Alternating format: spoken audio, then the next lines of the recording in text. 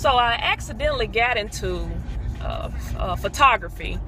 Um, I had made my mind up that I wanted to start back doing uh, highlight videos. And so if I was going to do high, highlight videos, I wanted to make sure make sure it was of high quality. Um, and so I knew I had to have the right camcorder. At least I thought I had to have the right camcorder, but when I asked around on how to, what kind of equipment I needed to uh, accomplish my goal of high quality uh, highlight videos, everyone kept pointing me to a camera.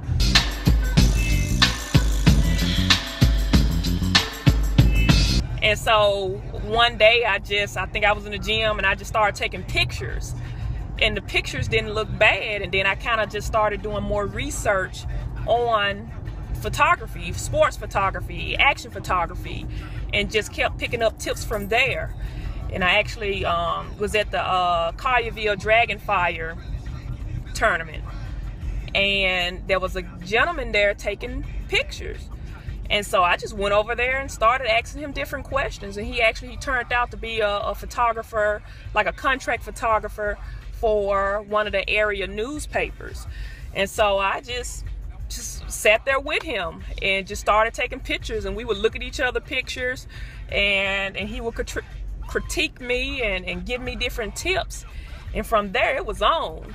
Um, and so that's kind that's how I started doing photography and for photos, pictures to Memphis girls basketball, and it and I it, it brings a different aspect to Memphis girls basketball that I like.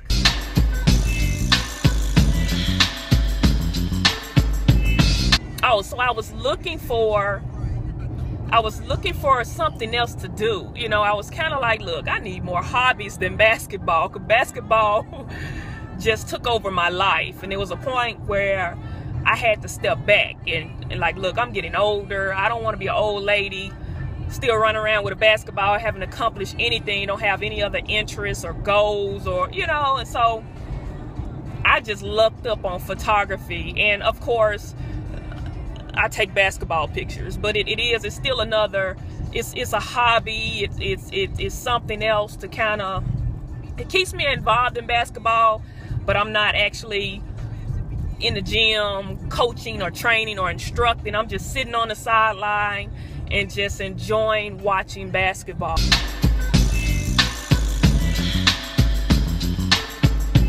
I've been um, following Memphis girls basketball since 2001, since I got back to Memphis. And so now I get to help create the memories. People can come back to Memphis girls um, 10, 20 years from now and look at pictures, um, the players who pictures I'm taking.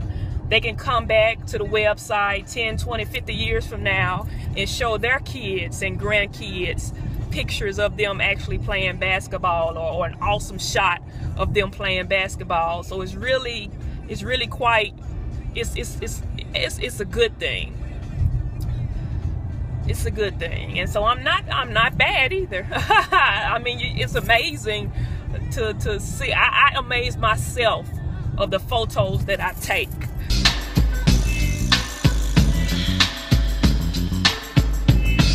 It, it, it's, it's, it's weird that I'm doing some of the things that my dad did for me. To be honest, I probably wouldn't even be taking pictures. I wouldn't be doing highlight videos and being at games and filming games. I've been doing highlight videos since about 2005. Uh, I was creating highlight videos back then.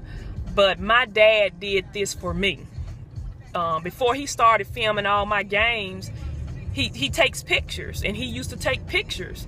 Uh, pictures of me playing basketball. And so, and, and I'm happy he did that for me. I didn't realize the impact of what the impact he was making on my life and how in return I'm doing it the same making the impact of players in Memphis area I'm making that impact on their lives and, and you know adding value to them so dad thanks thanks a lot dad love ya